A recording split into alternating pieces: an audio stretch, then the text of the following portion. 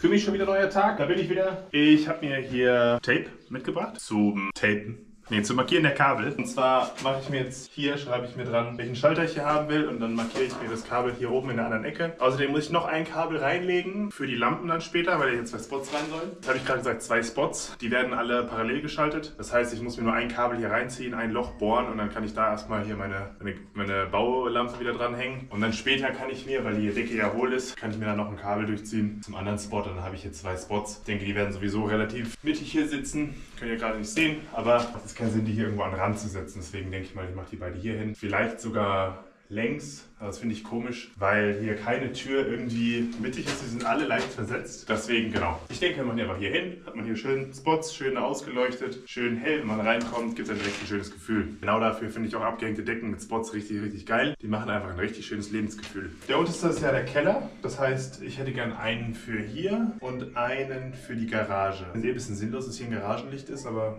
gut. Könnte das Garagenlicht natürlich auch einfach mit einem Bewegungsmelder versehen, aber ich denke, das ist eine Kreuzschaltung, weil in der Garage ist auch noch ein Schalter dafür. Deswegen muss ich den erhalten. Und ich habe nämlich keinen Bock, die komplette Elektrik zu machen. Deswegen mache ich einfach nur jetzt hier Garage in die Mitte, oben hier und unten Keller, aber das ist ja schon, also es bleibt ja einfach so. Also hier ist Eingang.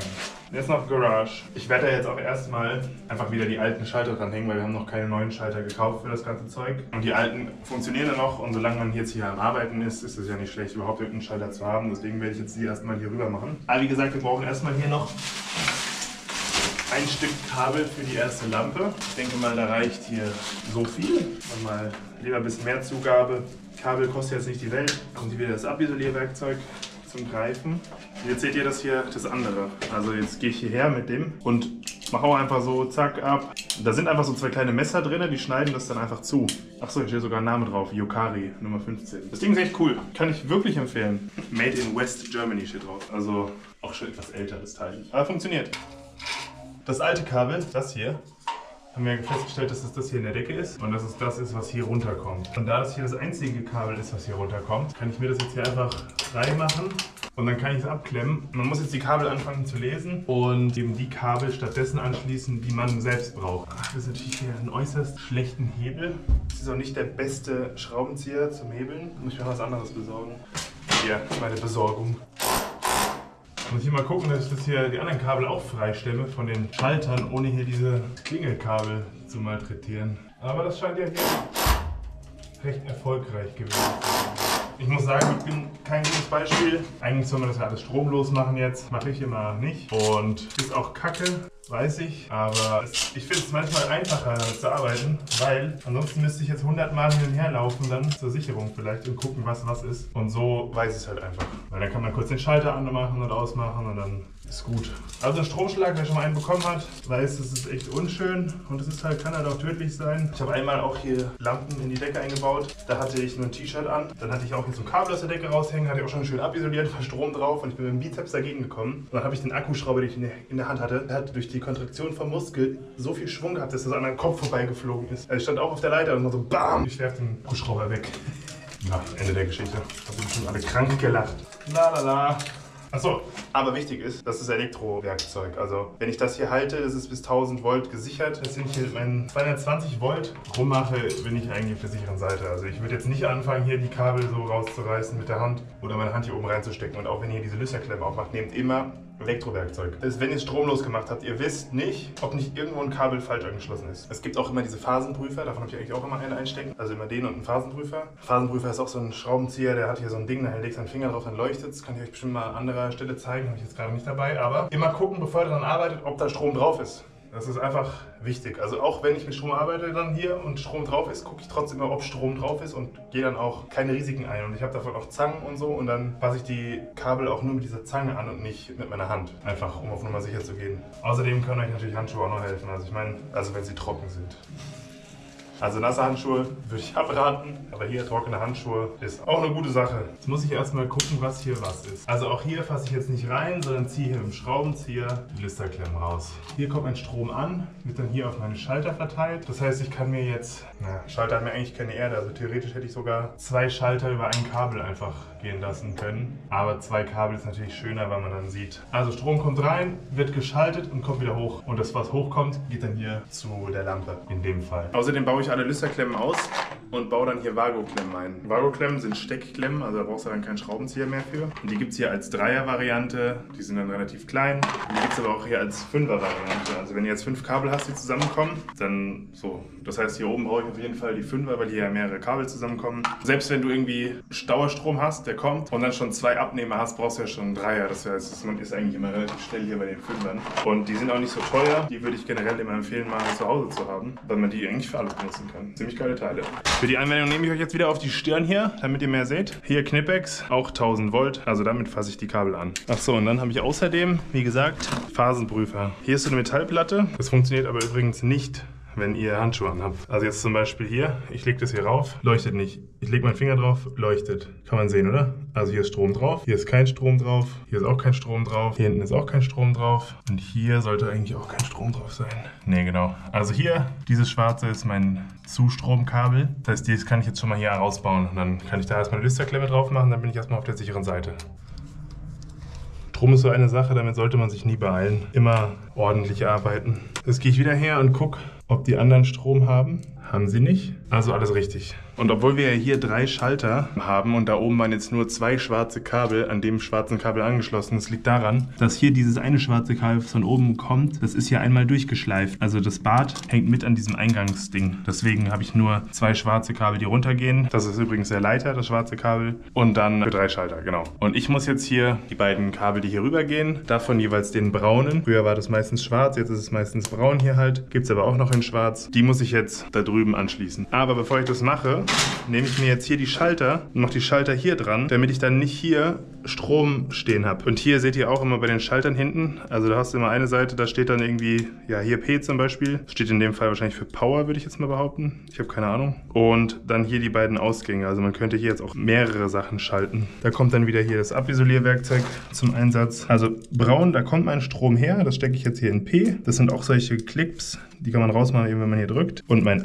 Ausgang stecke ich jetzt hier unten rein. Jetzt habe ich hier einen Schalter, der funktioniert. Das ist die eine Sache. Das hier, das kürze ich wahrscheinlich erstmal ein bisschen ein. Ich mache jetzt was, das dürft ihr eigentlich nicht machen, aber ich weiß ja, dass das hier abgeschnitten ist, mein Kabel. Aber wenn jetzt hier ein Kabel ist, wo zum Beispiel noch Strom drauf wäre und ihr schneidet das alles gleichzeitig durch, dann würde euch der FI rausfliegen, weil nämlich der Leiter mit, dem, mit der Erde Kontakt hätte und das ist halt nicht, das darf nicht sein. Aber ich mache das hier einfach wieder ab, verkleb's weiter hinten hin. Ah ja, und einen Seitenschneider habe ich auch hier so, also einen Seitenschneider und hier so eine Spitzzange. Mit den beiden komme ich eigentlich gut zurecht.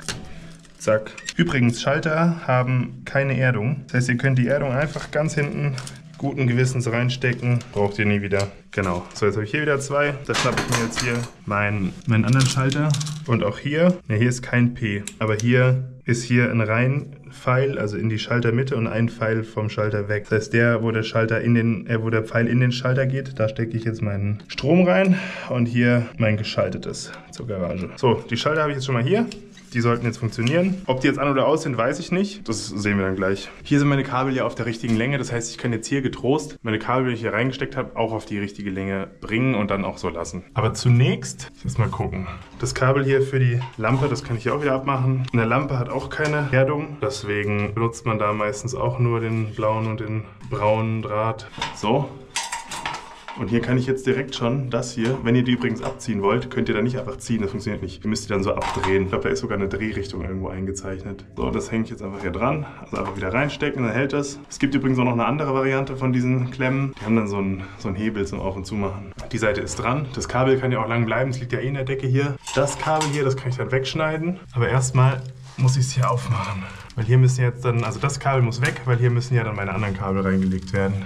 Da bietet sich jetzt hier natürlich diese Zange an. Also der Schalter hier sieht man ja, das war der, der hier den Eingang geschaltet hat. Der geht nämlich auch direkt hier auf dieses Kabel und versorgt den mit Strom. Lüsterklemme kann Müll, benutzen wir nicht mehr. Und das hier, was haben wir da noch? Wenn ihr die Erdung hier drinnen anschließt, schadet das nicht. Also da passiert nichts. Also ich habe jetzt eben gesagt, die sind tot, aber ähm, die trotzdem. Hier ist jetzt zum Beispiel interessant. Hier ist ein braunes Kabel an der Erdung dran. Und das ist sogar, mal gucken hier. Ja, also bei dem Kabel hier ist schwarz, blau und braun. Und da in dem Fall ist halt, also normalerweise ist Erdung halt grün-gelb. Aber weil in diesem Kabel bei drei Adern schwarz, blau, braun ist, ist braun die Erdung. Deswegen ist die Erdung hier mit da reingeklemmt. Nicht, dass es zu Verwirrung führt. Also bei der Erdung zum Beispiel braucht man in den meisten Fällen so einen Fünfer, weil da ist man recht schnell bei 5.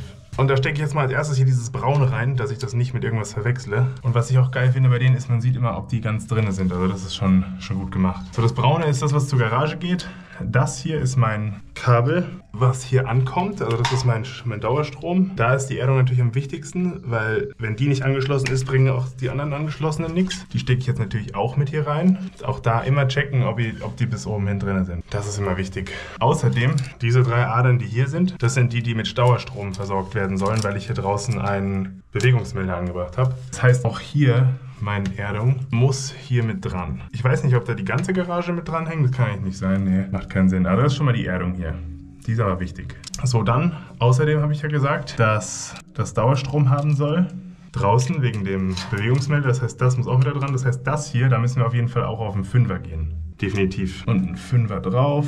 Zack. Dann kann der hier, der hier draußen ist, der auch Dauerstrom kriegen soll, kann auch schon da rein. Und dann brauche ich diesen hier. Da kommt auch ein Fünfer drauf, weil ah, jetzt bin ich eh schon mit den Fünfern dabei. Das heißt, ich kann jetzt den hier hier reinstecken. Außerdem, das hier ist ja mein Zustrom. Der hier müsste eigentlich hier oben durch, und damit es besser sortiert ist. Also wenn ihr hier Ordnung in so einer Dose haltet, hilft das schon immer enorm. Also jetzt habe ich schon mal den hier mit Dauerstrom versorgt, was schon mal wichtig ist, weil draußen die Lampe geht jetzt schon mal wieder. Mit Bewegungsmelder und der eine Schalter ist jetzt schon mal hinfällig. Gerade Müll erzählt. Der, von dem ich gesagt habe, der geht in die Garage, der geht zum Bad. Aber Bad soll ja hier bleiben. Also hier muss ich nochmal reinschneiden. Auch wieder sehr auf dieses Kabel aufpassen. Garage ist hier unten und das Kabel muss ich komplett hier hochziehen, weil das ist ja das, was ich gerne hier durchziehen würde. Weil hier ja keins mehr sein soll. Bad nach hier, das eine fällt weg und dann die zwei da drüben. Also aus vier hier wird zwei da plus Keller unten. Immer aufpassen. Ich bin hier immer echt auf Reden konzentriert und vergesse dann manchmal hier, was ich hier mache eigentlich. Also, aber um jetzt weniger Verwirrung zu stiften, packe ich mal hier noch dieses Kabel jetzt hier weg. Weil das hier brauchen wir nie wieder. Das versuche ich mal am besten hier oben zu knipsen. Kommt mir ja richtig gut dran hier, aber so könnte es gehen. So, Müll. Und das gleiche ja hier. Brauchen wir nicht mehr, kann weg. Hier ist jetzt noch ein Stück Kabel drin, aber jeder, der hier irgendwann mal die Decke abmacht, wird ja in der Lage sein zu sehen, dass es von da nach da geht. Also, dieses Kabel hier geht zum Bad und ich möchte ja ein neues Badkabel dann hier hinlegen. Das heißt, diese drei Adern, die ich jetzt hier habe, können wir nochmal checken hier. Also das war ja braun, schwarz, blau. Können wir jetzt hierher gehen. Braun ist die Erdung weil ich ja gesagt habe, Lampen haben keine Erdung, also nicht angeschlossen. Und dann haben wir hier schwarz und blau. Wer hätte das gedacht? Äh, das Kabel, das mache ich tot und bohre einfach jetzt hier oben einmal durch die Wand durch, weil da drüben ja auch eine abgehängte Decke kommt. Und deswegen lege ich dann einfach noch ein viertes Kabel hier mit rein und dann habe ich damit gar keinen Stress jetzt hier, hier an dieses, auf dieses Kabel zu achten, sondern kann jetzt einfach dann irgendwie hier unten schräg rübergehen. also nicht richtig schräg, das macht man nicht. Schon immer Winkel, aber so leicht schräg, damit ich nicht hier in mein Zuleitungskabel mit reinschneide, wenn ich hier mit der Schlitzfräse arbeite. Deswegen, ich könnte natürlich auch hier runtergehen, hier drüben rüber, weil das ja hier schon ist. Finde ich aber eigentlich auch behindert, weil nur ich weiß, dass die alten Schalter mal da waren. Überlege ich mir noch. Alles zu seiner Zeit. Aber hier muss ich ja sowieso mit meinem Kabel hochgehen, überlege ich gerade, wegen dem Garagenschalter, weil er hier an das eine Kabel dran soll, an das hier. Gut, dass ich es gesagt habe, weil ich muss ja hier auch noch die, die Sticker dran machen, was was ist. Das mache ich aber hier in der Decke. Aber jetzt will ich erstmal als erstes hier die Lampe wieder anschließen, weil ich will ja hier die Decke zumachen. Und das kann ich machen, wenn das schon mal angeschlossen ist. Und dann bohre ich gleich das Loch hier noch. Das hier ist mein Lampenkabel. Dann ist das hier mein Eingangskabel. Dieses Eingangskabel soll ja hier durch. Das heißt, ich markiere mir das hier jetzt. Da reicht es, wenn die Drähte so lang sind. Sonst habe ich da so ein Kabelgewirr später. Entisoliere ich das bis dahin, wo ich es mir angehalten habe. So, und jetzt funktioniert es nämlich so. Man nimmt sich eine Dreierklemme, weil ein Schalter macht ja nichts anderes, als den Kreislauf zu unterbrechen. Das heißt, das hier ist ja mein Schalter und dieser Schalter soll meinen Braun unterbrechen, das heißt meinen, meinen Zustrom. Das heißt, ich stecke hier Braun und Blau von meinem Schalter zusammen, also die verwirren hier gerade ein bisschen. Blau von meinem Schalter. So, dann stecke ich dieses Braun, erstmal stecke ich dieses Blau hier in mein Multiblau, also das hier, bisschen behämmert gelegt jetzt gerade. Das stecke ich mit hier rein. Weil wenn jetzt der Schalter ähm, umgelegt wäre, könnte ich sonst einen Stromschlag bekommen. Deswegen erst den hier reinstecken. Und jetzt stecke ich diesen braunen hier mit dazu. Zack. Und siehe da, Schalter ist an. Äh, Licht ist an. Wenn ich jetzt hier diesen Schalter bediene, geht's an und aus. Und weil die Schalter alt sind, haben die Wackelkontakt. Aber funktioniert. Das ist schon mal gut. Das hier soll ja der von der Garage werden. Das heißt, den muss ich dann von hier unten hier rein verlängern erstmal. Und dann werde ich nämlich doch hier rüber gehen einfach. Auch wenn es mir ein bisschen im Herzen wehtut. Aber dann muss ich wenigstens da oben wegen dem Kabel nicht nochmal aufpassen. Sondern kann einfach das hier rüberlegen und die dann zusammen hier hochlegen da rein. Den Rest filme ich jetzt erstmal nicht mehr, weil das ist ja jetzt gerade erstmal Immer nur das gleiche jetzt. Ihr wisst ja jetzt, wie man äh, ein Kabel mit einem Schalter anschließt. Deswegen mache ich das erstmal weiter und melde mich dann gleich, wenn ich mit der Decke hier weitermache. Beziehungsweise, ach nee, zum Lochbauen sage ich nochmal Bescheid.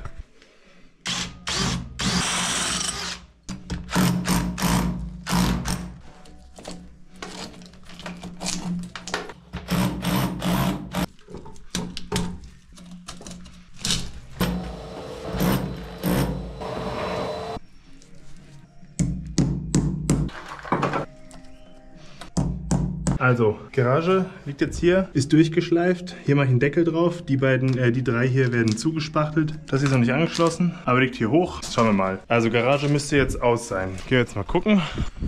Ist aus. Garage an. Jawohl, Garage an. Und Eingang geht auch. Top! Dann kann ich jetzt da oben bohren. Außerdem ist mir eingefallen, dass ich sogar drüben noch ein Stromkabel hinlegen muss, weil nämlich die Fenster alle elektrische Rollläden brauchen oder bekommen. Deswegen brauche ich auch ein Dauerstromkabel. Das heißt, ich muss ein Dauerstromkabel noch hier oben durchbohren. Das heißt, ich bohre jetzt zwei Löcher dadurch und lege zwei Kabel rüber. Eins für Licht, eins für Strom. Hier muss jetzt wieder eine Dose zugeschnitten werden. Bisschen wie Schnitzen. Nur, dass sich Plastik nicht so gut schnitzen lässt. Jawohl. Super.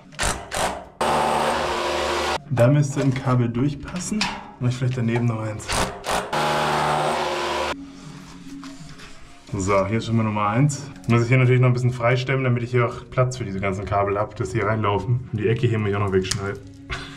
Wegschneiden vor allem, aber wegbrechen. Es wird eine ganz schön volle Dose. Übel. Naja. Das haben wir jetzt hier alles beisammen. Da fehlt jetzt nur noch das eine Stromkabel. Aber mein, äh, mein Kabel ist leer. Aber dadurch, dass das ja unter der Decke ist, kann ich einfach jetzt hier schon mal eine Decke reinmachen. Weil das ist alles fertig, was hier durchgehen muss. Ich muss mir jetzt nur überlegen, in welchem Abstand hier diese Lampen rein sollen. Und ich denke, also ihr seht, es ist krank geplant. Das Ganze war ja 1,45 Meter hier. Und ich denke, wenn wir die hier im Abstand von 45 Zentimetern machen, also die sind nicht fest, die kann man noch verschieben, aber wir 45 hier haben, ich denke, das, das kommt schön. Dann haben wir 55 cm, äh, 50 cm, ne? 90. Habe ich gesagt 1,40 oder 1,45?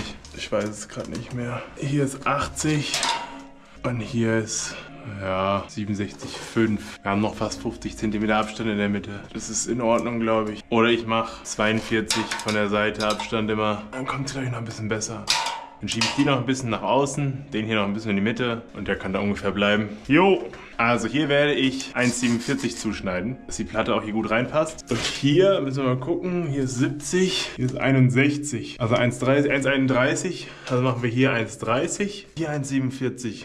1,30 mal 1,47. Ist wieder unmöglich zu merken, wetten. Das Ganze machen wir jetzt hier aus einer normalen Riegelplatte, weil es ist kein Feuchtraum, sondern einfach nur Eingangsbereich. Blöderweise sind die ja genau 1,25 Meter breit und der Raum ist ja, der Raum ist ja 1,30 Meter breit. Aber dadurch, dass ich jetzt hier das abschneide, äh, ich glaube, ich werde ein bisschen mehr abschneiden, damit ich nicht so einen Stoß direkt in der Ecke zum Spachteln habe. Das ist ja blöd. Deswegen ähm, mache ich erstmal die 1,45 Meter oder 1,47 Meter natürlich. Dann schneide ich hier so einen Streifen ab, damit meine Stelle zum Spachteln ein bisschen weiter reinrückt.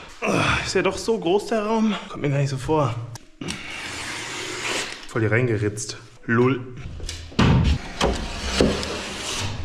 Das hier können wir dann gleich wieder benutzen. So, und hier zeichnen wir jetzt an. Ja, ich würde sagen 25 cm. Schön da drauf. Wo ist die Linie da? Da würde ich euch immer empfehlen, das nicht über eurem eigentlichen Rigips zu machen, weil sonst habt ihr die ganzen Krümel da drauf. Und das macht dann Löcher da rein. Ich überlege gerade, ob ich mir vielleicht doch einen Halter in die Mitte mache. Ja, ich glaube, ich mache einen Halter hier in die Mitte rein. Also so sehen diese Abhänger aus. Das ist eigentlich einfach nur so ein Blech, was dann auf den Ecken solche Rillen hat. Und hier in der Mitte, da passt ein Achter Dübel mit Schraube rein. Das heißt, was ich jetzt mache, ist, ich bohre ein Loch, da wo ungefähr das hin soll. Das ist natürlich wieder ganz rausgemacht. Normalerweise gibt es jetzt hier für die Bohrmaschine so einen Teller, dass nicht der ganze Staub in die Maschine reinfällt, aber ich puste jetzt einfach, weil ich hier nur ein Loch machen muss. Mann, das ist echt harter Beton hier. Da nehme ich jetzt einfach dieses Teil hier, halte es hier hin und schlage meinen Dübel hier rein.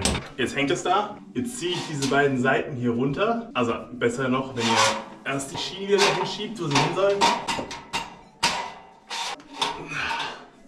So, und jetzt braucht ihr einen Akkuschrauber und Schrauben. Hol ich schnell. Und dann nehmt ihr jetzt einfach hier die normalen Rigipsschrauben, selbst schneiden und schraubt die an der Seite rein. So, das ist die eine Seite. Und jetzt biegt ihr einfach die Enden hier hoch.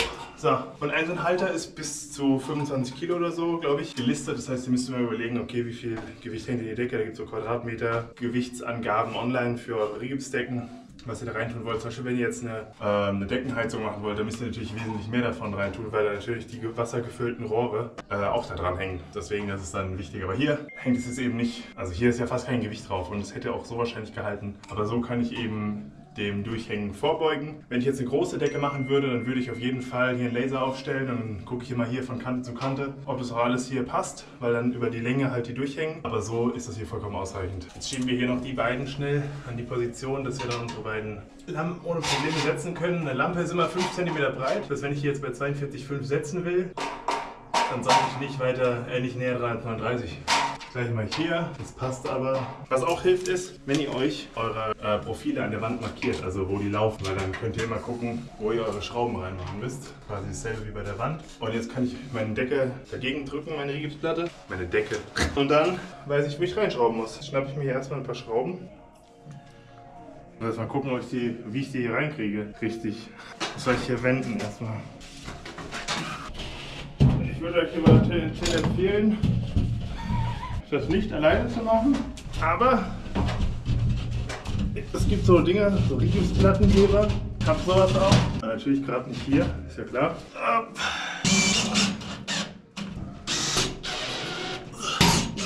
So, drei Schrauben und es hält erstmal. Das ist natürlich witzig, wenn es mir genau jetzt auf den Kopf fallen würde.